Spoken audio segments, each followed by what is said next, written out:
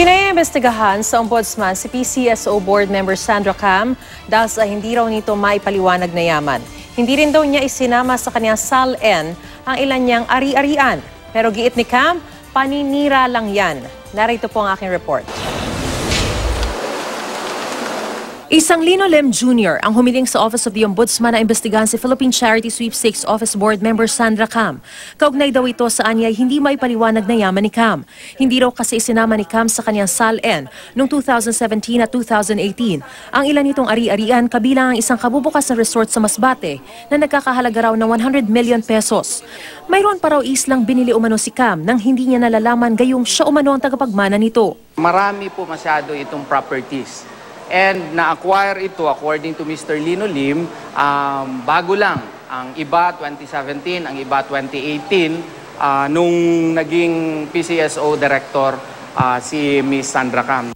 Ang nakakulong na si Senadora Laila de Lima, hinamon ngayon si Pangulong Duterte na paimbestigahan ang appointee niyang si Cam.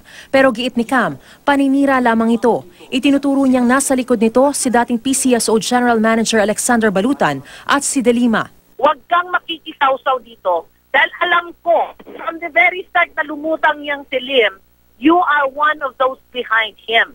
Especially Balutan. Yung mga sinasabi nila are all lies. Alam ko na si Balutan ang nasa likod nito, Giit ni Cam, nabili niya ang resort bago pa siya maging PCSO board member. Hindi rin daw totoong nakabili siya ng isang isla. The beach resort that they are talking about, I bought that since 1997. A single pa ako noon. That's not true that I have a 550 million worth of an island and another 100 million for my beach resort. Gayunpaman, bukas raw si Cam sa investigasyon. Sinusubukan pa naming hinga ng pahayag si Balutan.